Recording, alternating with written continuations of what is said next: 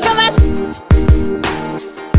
Замир, а с кем вы сегодня? Один. А почему вы один? Так получилось. Сегодня же день Святого Валентина, праздник любви. Вы должны найти свою вторую половинку. Найду, наверное. А, у меня жена есть. Так у вас есть жена.